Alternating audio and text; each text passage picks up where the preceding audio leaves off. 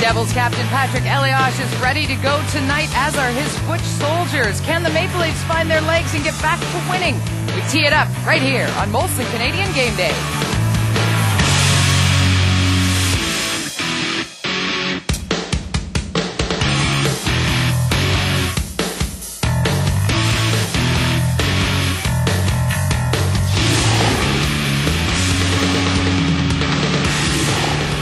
Welcome to downtown Toronto, everybody. It is Molson Canadian Game Day at the Air Canada Centre. New Jersey Devils in town to take on your Toronto Maple Leafs.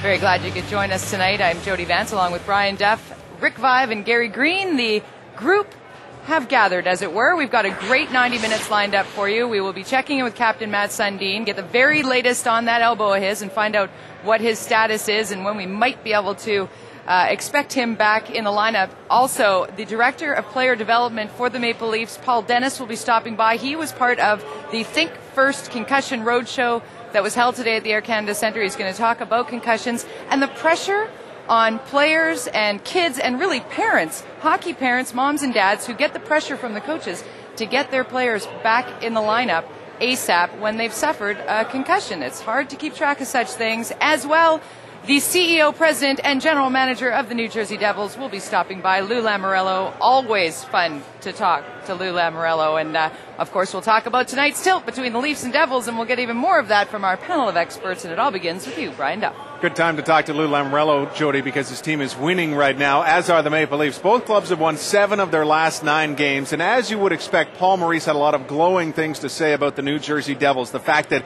consistency is their key. They're built for speed. They tip pucks better than most teams do on shots from the point. And that they are just an overall extremely efficient team. You know where that comes from. It comes from Lou Lamoriello and goes right on down through their system.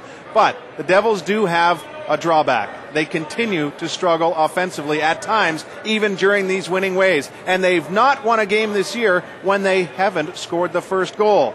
That problem could be compounded again tonight by the fact that the Devils are still without ultimately their leading middle man.